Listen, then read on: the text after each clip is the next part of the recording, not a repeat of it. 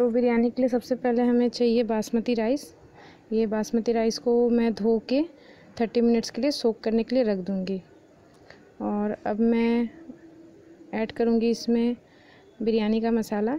इसका टोटल नाम जो भी है, ये चार तरीके की बिरयानी के मसाला आते हैं। इसका टोटल डिटेल मैं डिस्क्रिप्शन में शेयर कर दूँगी क्वांटिटी और नाम के साथ। तो आप वहाँ से डिटेल में चेक कर लीजिए। तो ये मेरी सोक राइस है और मैंने इसमें बिरयानी का मसाला ऐड कर दिया है। और अब मैं इसमें ऐड करूँगी वेजिटेबल ऑयल ताकि चावल एक दूसरे के साथ चिपके ना, बिल्कुल इंडिविजुअल रहे। और तेल ऐड करने के बाद मैं इसमें ऐड करूँगी स्वाद अनुसार नमक ताकि बिरयानी का जो चावल है वो बिल्कुल टेस्टफुल हो, फीका ना लगे। और इसके ऊपर मैंने दो बेलीव ऐड किया है। एंड जो हमारा गरम मसाला होता है सिनेमन इलायची, छोटी इलायची, बड़ी इलायची, लौंग, वो सारा हम इसमें ऐड करेंगे। और मैंने इसमें कुछ पेपर कॉर्नस भी ऐड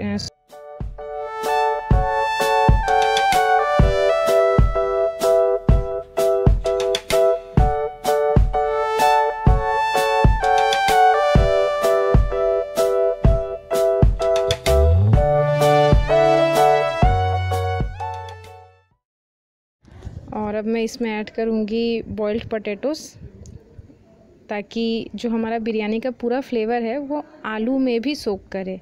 और इसको हल्के हाथों से मैं सारा कुछ को मैंने अभी मिक्स कर दिया, बिल्कुल हल्के हाथों से, ताकि हमारी चावल टूटे ना। और ये मेरा मैरिनेटेड चिकन है, इसको भी मैंने थर्टी मिनट पहले मैरिनेट कर दिया था। मैरिनेशन का पूरा डिटेल मैं डिस्क्रिप्शन में शेयर करूँगी, आप वहाँ से देख लीजिए। और मैंने तीन मीडियम साइज़ के प्याज को स्लाइस कर लिया है। बिल्कुल फाइन चॉप की ज़रूरत नहीं है, स्लाइस कर लिया है। और कुकिंग के लिए हमें चाहिए मस्टर्ड ऑयल। आप चाहे तो वेजिटेबल ऑयल में कुक कर सकते हैं, but mustard oil add most more flavour in our biryani. तो मेरा ऑयल हीट हो चुका है और साइड में मैंने चावल चढ़ा दिया है। उसको दोनों ही कुकिंग बिल्कुल लो फ्लेम में होएगी। तो मेरा तेल बिल्कुल बिल्कुल हीटेड है। अब मैं इसमें जो हम मेरे स्लाइस किए हुए अनियंस थे, वो ऐड कर दूँगी और इनको तब तक भूनूँगी जब तक कि ये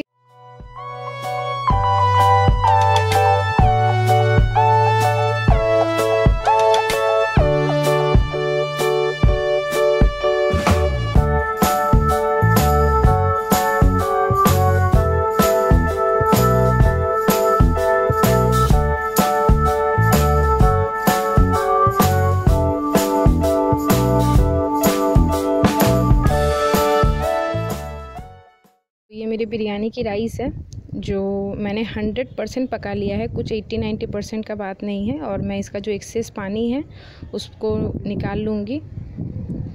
और जैसे कि आप देख सकते हैं कि मैंने इसका पानी पूरा निकाल लिया है और राइस को मैं ठंडे होने के लिए फ़ैन के नीचे या नॉर्मली रख दूँगी।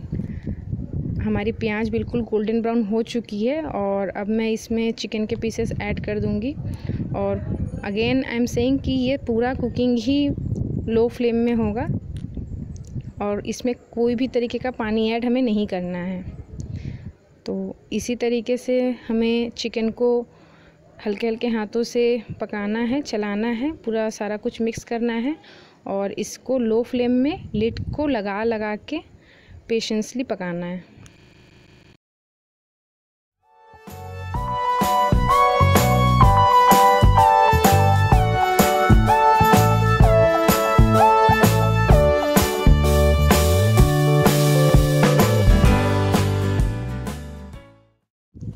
मिनट बाद देखिए, दही ने बिल्कुल पानी छोड़ दिया है। ये जो एक्सेस ऑयल है, ये भी दही का ही कमाल है। हमने कोई पानी, कोई एक्स्ट्रा ऑयल इसमें ऐड नहीं किया है। और इसको थोड़े थोड़े देर में पाँच सात मिनट के बीच बीच में चला के इसको लिड लगा लगा के पकाना है। अगेन सात आठ मिनट बाद मैंने लिड हटाया है और इसका काफ़ी अच्छा कलर आने लगा है और जो ग्रेवी की कंसिस्टेंसी है वो धीरे धीरे सूखने लगी है। तो हमें इसको बिल्कुल ड्राई करके उतारना है क्योंकि वो बिरयानी में ऐड होगी तो वो आ, राइस को किसी भी तरीके से इफ़ेक्ट ना करे।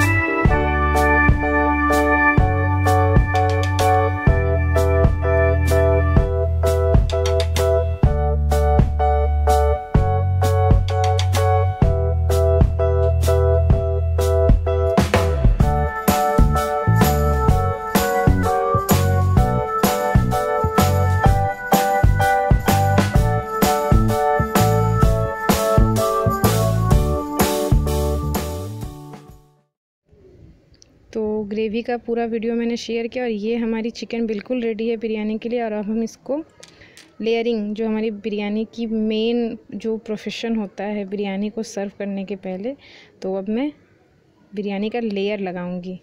तो जिस तरीके से मैं चावल को पहले थोड़ा मोटा लेयर रहेगा, क्योंकि नीचे हम गैस के ऊपर कढ़ाई को डायरेक्ट रखने वाले हैं तो चावल का एक मोटा लेयर इस तरीके से आप लगा दीजिए। और इसके बाद मैं इसमें हमारे घर पे अंडा प्रेफर करते हैं। वो ऑप्शनल है, आप रख भी सकती हैं, नहीं भी रख सकती हैं। तो दो जना का दो अंडा और ये जो हमने बॉयल आलू थे हमारे, उसको मैंने ऐड कर दिया है। और अब मैं इसमें हमारी बिरयानी का जो जान है, हमारी चिकन और उसकी ग्रेवी उसको ऐड करूँगी। तो धीरे धीरे मसालों के साथ पूरा जितना ऑयल है, जितना भी ग्रेवी है और चिकन के पीसेस सारों को ऐसे ही धीरे धीरे प्लेस करिए राइस के ऊपर ताकि इसका जो फुल ग्रेवी का जो टेस्ट है वो राइस के साथ पूरा मिक्स हो जाए और खाने में काफ़ी वो डिलीशियस लगे। अगेन मैं ऊपर से राइस का लेयर लगा दूँगी। हम दो बंदे हैं तो हमारे लिए इतना लेयर काफ़ी होगा। अगर आपके घर में क्वांटिटी ज़्यादा है तो आपको लेयर भी ज़्यादा लगानी होगी। तो इस तरीके से मैं राइस का लेयर पूरा लगा दूँगी और राइस का लेयर पूरा लगाने के बाद मैं इसमें कुछ और चीज़ें ऐड करूँगी, जैसे कि ये बिरयानी का मसाला है, इसका भी मैं डिस्क्रिप्शन में डिटेल शेयर कर दूँगी तो आप वहाँ से देख लीजिए। और ये मेरा दूध के अंदर मैंने केसर भिगा के रखा था, वो चीज़ मैं इसके ऊपर स्प्रेड कर रही हूँ। अगर केसर अवेलेबल ना है तो आप हल्दी का इस्तेमाल कर सकते हैं। और इस तरीके से पूरा लेयर जब कंप्लीट हो जाएगा तो आप इसके ऊपर लिड लगा दीजिए और अब मैं इसको गैस के ऊपर प्लेस करूँगी। तो गैस को पहले मैं ऑन करके दिखा रही हूँ कि गैस को मैंने ऑन किया और इसका फ्लेम बिल्कुल लो मतलब लास्ट वाले पोर्शन पे रहेगा और उसके बाद मैंने बिरयानी को इसके ऊपर बिठा दिया है दम के लिए। ये सत्रह से अठारह मिनट तक मिनिमम रखना है। ये आफ्टर टेन मिनट का वीडियो है, जो कि मैं शेयर कर रही हूँ आप लोगों के साथ। और आफ्टर ट्वेंटी मिनट मतलब दम से उतार के मैंने दो मिनट और रखा है इसको। तो ये हमारी पूरी पूरी बिरयानी बनने के बाद ये हमारा पूरा उसका लुक आया है और मैं सर्व करके आपको दिखाती हूँ कि इसका लेयर कितना अच्छा आया है। तो अगर आपको ये बिरयानी का वीडियो सच में पसंद आया है और आप घर पे ट्राई करिए एक बार ये प्रोसेस में, क्योंकि लॉकडाउन के टाइम पे जो सामान है घर पे मैंने उसी से, वो चीज़ ट्राई की है। तो आप इसको घर पे बना के देखिए। अगर सच में आप लोगों को पसंद आता है तो मेरे वीडियो को लाइक, शेयर, सब्सक्राइब कीजिए और खाने आप घर पे बनाइए। खाने के बाद अगर सच में अच्छा लगता है तो मुझे कमेंट में बताइए कि कैसा बना था और आप लोगों को कैसा लगा। So that's it bye bye